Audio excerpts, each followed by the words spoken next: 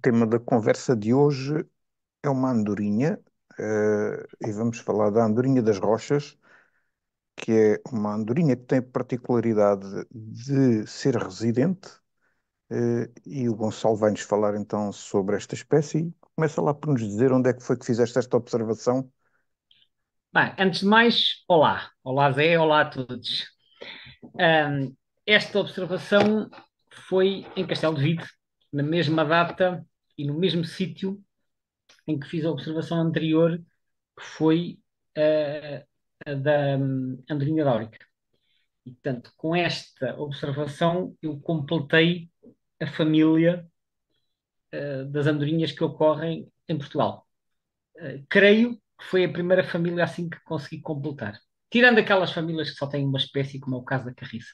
Mas assim que elas têm várias, várias espécies, penso que terá sido a primeira ou uma das primeiras.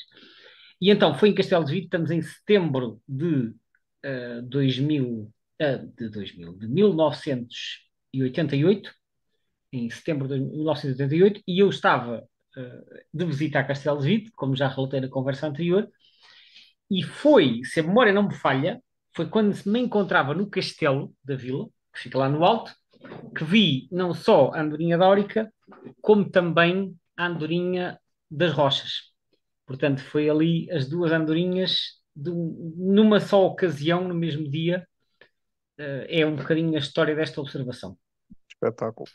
Ou seja, yeah. fechaste, fechaste, as andorinhas com, logo com duas assim, que até ainda para mais interessante. Porque a andorinha das rochas, a andorinha das rochas, hoje a situação é um bocadinho diferente, mas a andorinha das rochas, naquela altura, praticamente só aparecia na metade interior do país, era muito rara no litoral. Uh, e, portanto, eu, como frequentava principalmente zonas mais junto à costa, e os locais onde eu tinha feito observações era em, em Lisboa, era em São Martinho do Porto e era no, no Minho, eu ainda não tinha propriamente visitado locais onde houvesse andorinha das rochas. Mas no interior elas sempre foram mais comuns e quando eu chego a Castelo de Vide foi fácil dar com a espécie, porque andava mesmo ali à, à volta do castelo, como eu referi. Tal como a andorinha dáurica, que também é uma espécie que, uh, sempre, desde que colonizou Portugal, sempre foi mais abundante no interior. Hoje em dia, a andorinha das rochas alargou consideravelmente a sua área de distribuição e tem vindo a tornar-se cada vez mais frequente no litoral. E essa expansão é global ou é só aqui em Portugal? Uh, global é um termo que eu tenho alguma dificuldade em usar porque eu não sei muito aquilo que se passa fora da Península Ibérica. Mas posso dizer que a nível da Península Ibérica uh, uh, existe essa tendência. Não é só em Portugal, ocorre também em Espanha.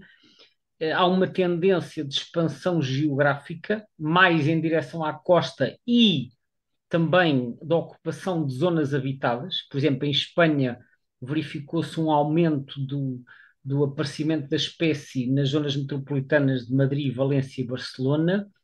E em Portugal também se verificou, por exemplo, que na região de Lisboa, onde até há, sei lá, há 15 anos ou assim elas raramente ocorriam, pelo menos como nidificantes, agora já foi confirmada a nidificação na região e até conheço observações já em plena cidade de Lisboa e também noutras localidades do litoral. Portanto, elas têm vindo a deslocar-se do interior para a costa e isso acompanha, de certa maneira, uma adaptação a um novo tipo de habitat, como aconteceu com os rábio-ruivos. Nós já falámos do rábio-ruivo preto anteriormente, que era uma espécie que originalmente era de zonas rochosas, em serras, e que, a partir de certa altura, começou a adaptar-se a nidificar em construções humanas foi tem, tem todo aí todo um novo habitat, não é? Ao Exatamente. E com a Andorinha das Rochas acontece o mesmo, porque elas, sendo originalmente uma espécie que nidificava em rochas, elas começaram a, a adaptar-se a utilizar pontes, castelos e, e, outro tipo de edifícios, e a partir daí elas deixam de estar tão dependentes das rochas e isso vai permitir uma expansão em relação ao litoral, porque elas passam a, a, a ter um habitat, o que o habitat já lá estava, só que elas não o utilizavam. E, portanto, mas, elas, mas essa, embora... essa, expansão, digamos assim, até ao litoral, é, é, mesmo em termos de área de nidificação ou sim, elas fazem sim, movimentos sim. entre época de nidificação e época de invernal há, há duas, há as duas coisas. Eu já, já vou falar dos movimentos. Em termos de nidificação, termos e quando nós vamos, por exemplo, ver o último Atlas de nidificantes que está online no site Lista Vermelha das Aves, Neste momento, elas já estão presentes, já há nidificação em uh, praticamente, embora de forma um bocadinho descontínua, é verdade, mas já uh, ao longo do litoral, desde o Minho até uh, à região de Lisboa, como disse, com algumas descontinuidades, mas desde a minha terra de Lisboa. Depois no, no Alentejo, no Alentejo e na Bacia do Sado, de uma forma geral, estão ausentes. Mas mesmo no, no Alentejo, ela, houve uma expansão em direção ao litoral. Uh, e, e, eu, por exemplo, eu recordo já há uma série de anos de as ter visto em Tomar, a nidificar, no no, num dos claustros do Convento de Cristo. Portanto, claramente um caso de nidificação em construção. Sei que na zona de Oeiras ou Cascais já foi encontrada a nidificar debaixo de viadutos. Portanto, elas, como aprenderam a explorar outro tipo de suportes, nomeadamente em construções, e aparentemente conseguiram fazê-lo com sucesso, uh, então o que acontece? Elas, como eu disse, conseguem encontrar novas oportunidades de nidificação perto uh, do litoral, em sítios onde não haveria habitat genuíno, genuíno aqui estou a falar dos rochedos que eram o habitat original. Portanto, foi como aconteceu com os rábios e acontece com outras espécies. Quando uma espécie se consegue adaptar uh, a um determinado tipo de habitat que antes não utilizava, que é um habitat novo e as espécies aprenderam a tirar partido disso, nessa situação estão criadas as condições para a espécie se expandir e foi isso que aconteceu. Aliás, em Espanha está documentado também que elas passaram a frequentar mais os núcleos urbanos. Agora, quanto à outra parte da questão, que é a parte do inverno. Bom, isso leva-me aqui a um outro aspecto um, que tu já referiste há pouco. Tu disseste que esta espécie é residente. Ora, vamos uh, tentar perceber um bocadinho melhor o que é que isto significa. Nós usamos o, o termo... vai um bocado contra tudo o que, é de, que a gente conhece de, de, de, das outras espécies de andorinhas que cá aparecem, não é? Sim, mas, mas mesmo o termo residente é um termo que eu às vezes gosto de referir isto, é um termo que às vezes é mal um, mal entendido, porque nós usamos a palavra residente para designar uma espécie que está cá durante todo o ano. Só que, eh, primeiro, residente não é sinónimo de sedentário. Pode querer dizer que faz movimentos. E segundo, a distribuição da andorinha das rochas durante uh, a época dos ninhos é consideravelmente diferente da distribuição da espécie durante o inverno. Durante a época dos ninhos, elas estão presentes, sobretudo, no, na metade interior do país. Embora, também, como eu disse, tenham vindo a ocupar crescentemente o litoral, mas continuam a ser muito mais abundantes no interior. No inverno é ao contrário, elas quase desaparecem da maior parte das zonas do interior e aparecem em grandes números no litoral. Portanto, há movimentos, claramente, porque a distribuição não é a mesma. Elas podem ser residentes, quando nós referimos esta palavra uh, no sentido de ocorrer durante todo o ano, mas são residentes a nível nacional. Mas quando vais ver a nível local, na maioria dos locais onde a espécie ocorre, na maioria, não, enfim, não sei se era a maioria, mas numa grande parte deles, elas não estão presentes durante todo o ano. Há muitos sítios em que elas só estão na época dos ninhos e depois desaparecem, e não as vês durante meses, e há sítios em que elas só aparecem no inverno, que é o caso de muitos sítios junto à costa. Uh, pelo que eu li, até as populações, digamos, mais do norte da Europa, essas migram mesmo, não é? Portanto, mantêm não, Não, mas não é só as do norte da Europa, porque mesmo a nível da Península Ibérica, todas as que nidificam no interior da Península, eh, nomeadamente na metade norte da Península, desaparecem de, durante a época de invernada. Portanto, eh, mesmo a nível da Península Ibérica, e desaparecem para onde é que elas vão? Vão para zonas mais baixas junto à costa. Portanto, há uma movimentação que é realizada das zonas interiores para as zonas costeiras e das zonas de maior altitude para as zonas mais baixas. Não quer dizer que todos os indivíduos façam isto, mas há uma grande porcentagem de indivíduos que faz. E efetivamente, quando nós vamos às zonas costeiras no inverno, é frequente nós vermos andorinhas nas rochas alimentarem-se, muitas vezes na proximidade de zonas úmidas ou em zonas urbanas, e a fazer dormitórios. Eu já encontrei no Algarve, por exemplo, uh, dormitórios de várias centenas de andorinhas de rochas no inverno. O máximo que eu cheguei a contar foi em Monte Gordo, perto de Vila Real de Santo António, numa manhã de janeiro, cerca de 550. Okay? E não é o recorde, porque uh, sei que há registros perto de lagos com cerca de mil. e no sul de Espanha há registros com 2 mil ou mais. Portanto, uh, há, há, estes registros de concentrações invernais junto à costa. Aquelas em Do... período de, de, de, reprodução tipicamente dispersam mais, não é? Dispersam, dispersam porque vão nidificar isoladamente ou em pequenos, uh, em pequenos também uh, aí, também aí distinguem-se um pouco das outras espécies de andorinhas, não é? As outras são mais coloniais. As dáuricas Estas... não, as, as dáuricas nidificam isoladamente. Sim, já falado nisso, também são um bocado assim, as, as, as, rústicas, portanto, as chaminés variam um pouco. Hum, as mais coloniais são as dos beirais e as das barreiras, essas sim. Portanto, as das rochas, normalmente um casal, às vezes dois ou três, mas não fazem grandes colónias. Agora, o, a grande questão que se levanta é então, e estas concentrações de centenas de aves que nós vemos junto à costa, vêm de onde? Né? Qual é a origem destas aves? Uh, efetivamente, como eu disse, as do interior da península desaparecem.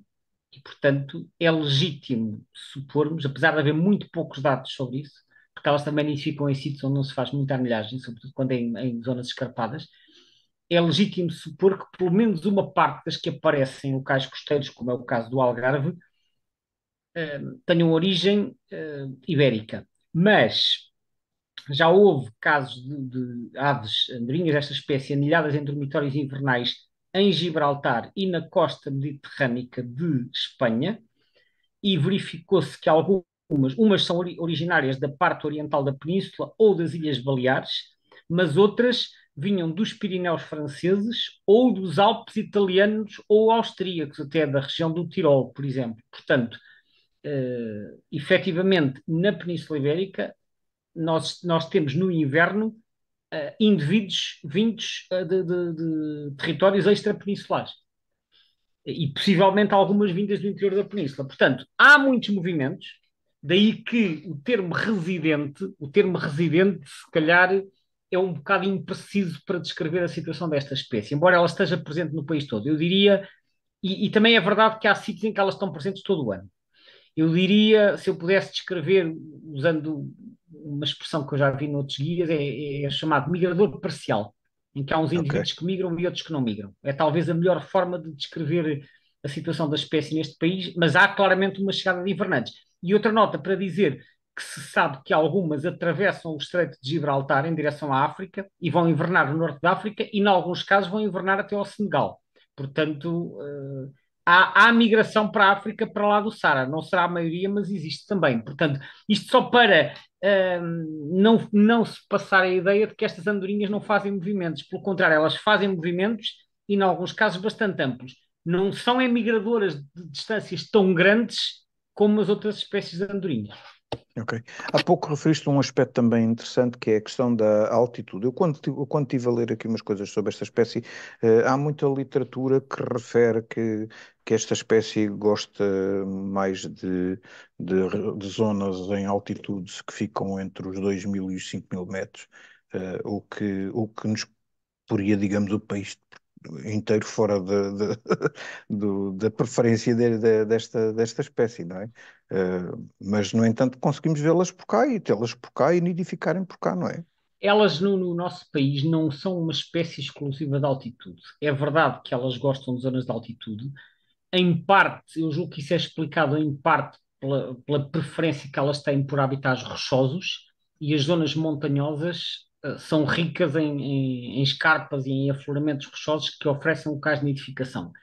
Mas no interior do nosso país, e nomeadamente no interior sul, no Alentejo, por exemplo, nós temos muitos, muitos barrancos e ribeiras que têm zonas escarpadas, e depois lá está, têm pontes também que servem de, de, de suporte de nidificação, e portanto, desde que haja habitat de reprodução, a altitude não é um requisito essencial e elas, eh, pelo menos desde que eu vejo aves, elas uh, sempre estiveram presentes no Alentejo. Aliás, no primeiro Atlas Nidificantes, que sai na década de 80, já era dado conta a presença da espécie no interior alentejano. Não vinham tanto para o litoral como hoje, mas, portanto, não, não são dependentes da altitude. Agora, uh, efetivamente, sabe-se que mesmo em Espanha elas vão até aos 3 mil e tal metros. Portanto, podem ocorrer em zonas de altitude. Ou seja, Pois a questão, a questão será mais o habitat uh, do que propriamente a altitude em si.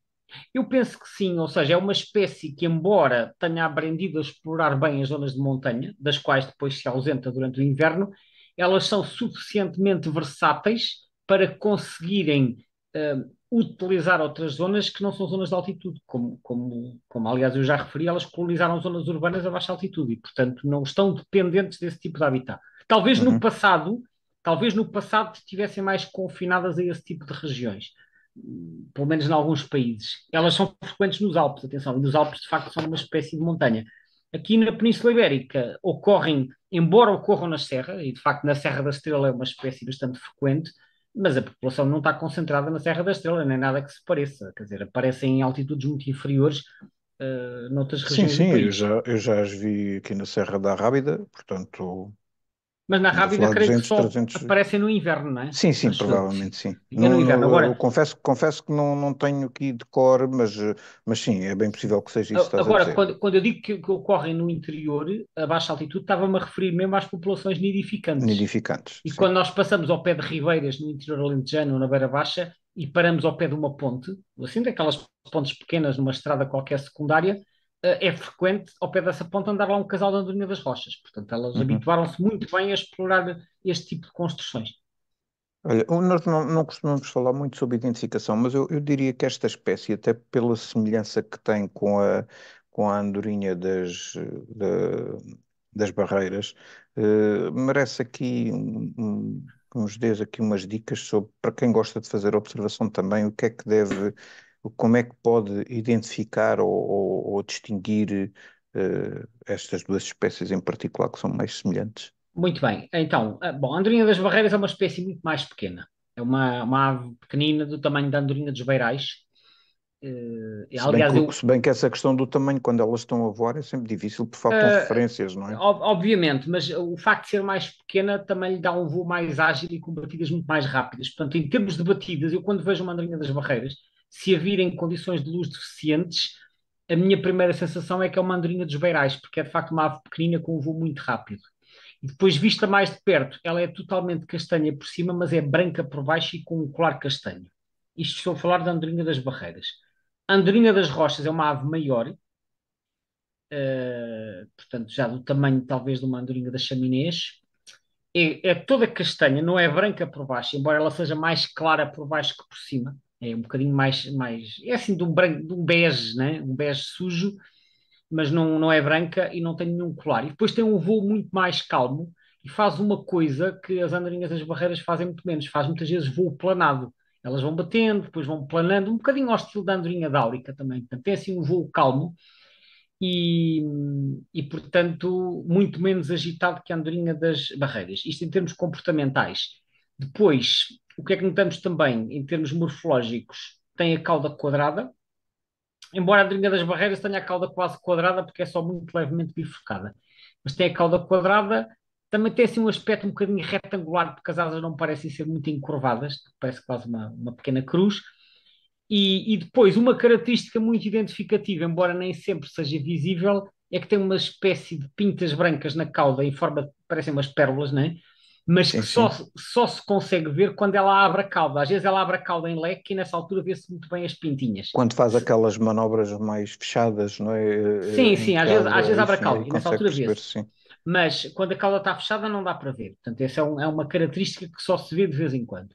E depois, para além disto, há a questão do calendário, porque a andorinha das barreiras só está presente normalmente de finais de fevereiro até finais de setembro ou início de outubro. Não quer dizer que pontualmente não possa aparecer uma andorinha das barreiras no inverno. Aliás, há uma, uma vez uma, é uma situação muito engraçada que eu era para contar na última conversa, depois não se proporcionou, mas há uma ocasião, há uns anos, em que eu estava no Algarve e vou até à zona de Vila Moura no dia 31 de dezembro, portanto, o último dia do ano, e ali em Vila Moura, no mesmo local, eu vi as cinco espécies de andorinhas. Que, em princípio, já não é fácil no mesmo local e no mesmo dia ver as cinco espécies andorinhas, mas mais improvável ainda é isso acontecer no dia 31 de dezembro, né? E portanto, uh, porque é assim, em dezembro, obviamente no Algarve é fácil de ver as, as das rochas e também as das chaminés e dos beirares, muitas vezes não há algumas, mas somarmos a isto uma dáurica e uma das barreiras, é assim uma, uma Isso é preencher, boca- é preencher as medidas do, do é um, é um observador. bocadinho inusitado. Portanto, isto só estou a dizer este exemplo para, para referir que a andorinha das barreiras pode aparecer no inverno, mas não é frequente e quando aparece é uma ou duas, não é 10, nem 20, nem 30, como vemos as andorinhas das, das rochas, que às vezes, como eu referi, até podem aparecer centenas. Portanto, resumindo, a andorinha das barreiras é mais pequena, voa muito mais rápido, ao estilo da andorinha dos beirais, branca por baixo com um colar castanho e totalmente castanha por cima. Andorinha das rochas é um bocadinho maior, mais retangular ou mais quadrada, com a cauda quadrada também, com pintas brancas eh, que se vêem quando abre a cauda em leque, e é bege por baixo. E depois há a questão do calendário, em que a andorinha das rochas está presente durante todo o ano, e no inverno é mais frequente junto à costa, enquanto que a andorinha das barreiras é uma espécie estival que está presente de finais de fevereiro até finais de setembro, mais ou menos. Quem quiser saber eh, mais detalhes e, e mais em pormenor estes aspectos, inclusive é os da identificação, temos, eh, tens ali no, no, no canal YouTube do avesdeportugal.info eh, uns vídeos que podem ser eh, eh, consultados também, não é verdade? Con- sim, concretamente temos um tutorial sobre identificação de andorinhas e temos um webinário feito pela- o ano passado, portanto em 2023, pelo Vasco Flores Cruz e pela Sandra Fernandes, com o título As Andorinhas de Portugal, em que apresenta, eh, eles apresentam mais em detalhe a situação desta e de outras espécies de andorinhas no nosso país. Gonçalo, obrigadíssimo por mais esta conversa, obrigado também a quem nos ouviu, despedimos-nos até à próxima. Obrigado, Zé. Até à próxima conversa.